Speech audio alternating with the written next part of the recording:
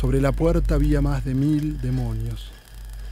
Impacientes y molestos, decían entre sí, ¿quién es aquel que vivo viene al reino de los muertos?